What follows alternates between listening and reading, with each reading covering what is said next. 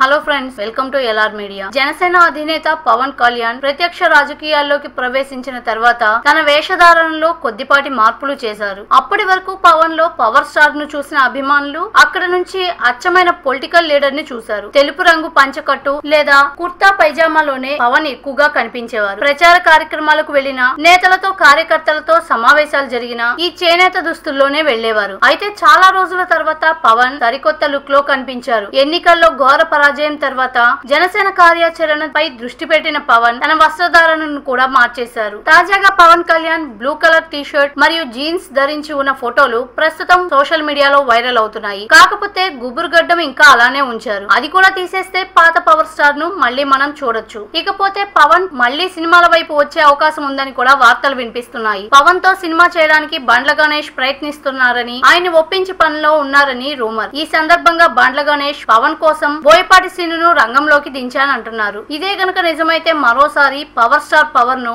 మళ్ళీ వెండి తెరపై చూసే అవకాశం అభిమానులకు దక్కినట్లే. మీకు ఈ వీడియో నచ్చితే లైక్ చేయండి షేర్ చేయండి. అలాగే మరిన్ని అప్డేట్స్ కోసం మా ఛానల్ని సబ్స్క్రైబ్ చేయండి.